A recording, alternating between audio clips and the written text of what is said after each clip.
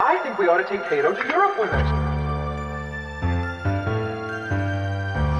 Kato, this crank.